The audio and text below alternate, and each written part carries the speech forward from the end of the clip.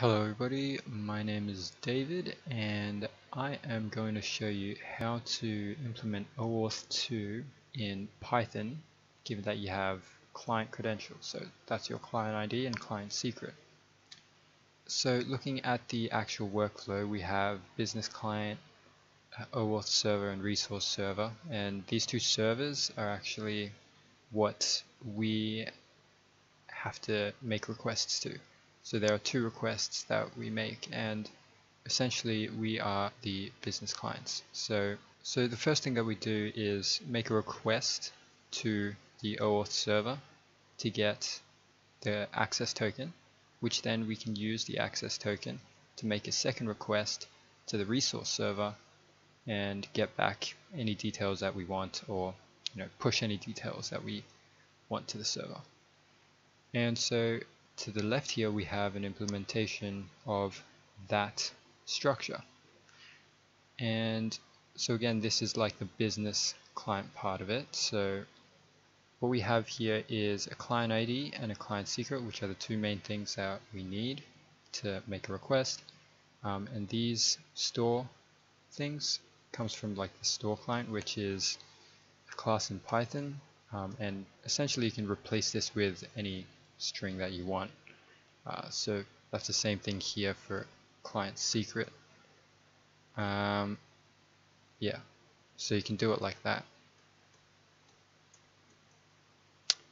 Uh, but the main thing that we're going to talk about is this piece of code, which deals with uh, this first section, this first request part of this workflow.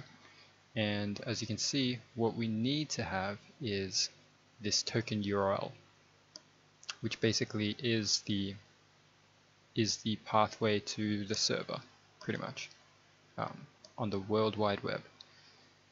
And in our data, we need to specify uh, the grant type of client credentials and provide a scope of OAPI.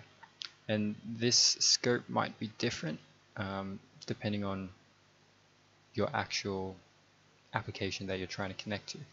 Uh, for me though, uh, in the Loop Services API, which is the app that I'm trying to connect to, it has OAPI as your scope and also um, that's where I also get the uh, access token URL which is the same one here and then I would make the request and you want to take note that in the request I put this auth equals the client ID and client secret and pretty much that's it.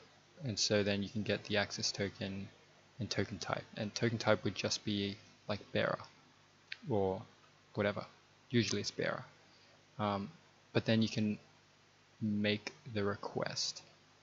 And here's what I'll do though. I'll actually provide an example of what the response would actually look like so give me just a moment.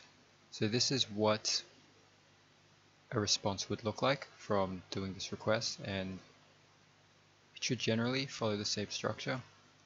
But essentially uh, the response I turn that into a JSON object. Well it becomes a dictionary essentially. And then um, I just key that dictionary the access token part of it. And I can get the access token, which I just put a jumble of letters in. And the token type here is, of course, bearer. Now onto actually making the request. Again, it's specific to whatever application that you're trying to connect. But essentially the URL is just as a URL could be. Um, your headers, you want your headers authorization to be the token type plus space plus or, uh, plus access key because what this would look like is bearer and then so so so, so forth or whatever right? Um, and that would be in replacement for this whole text. And then that's it pretty much. This response does the request and you would get your payload of data.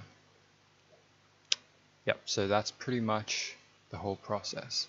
Hopefully you found this uh, hopefully you found this somewhat useful and um, yeah